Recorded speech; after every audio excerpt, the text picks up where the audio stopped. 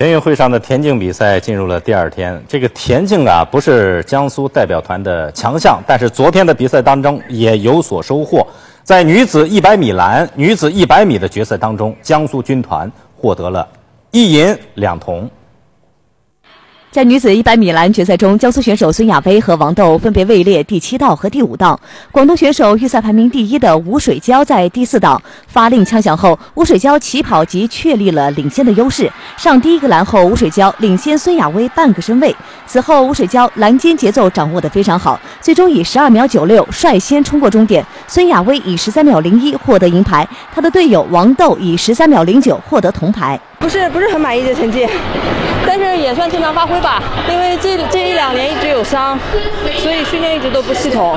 在稍晚进行的女子100米决赛中，来自江西九江的姑娘陶雨佳力压群芳，以11秒48凭个人最好成绩夺得冠军，成为新科中国女飞人。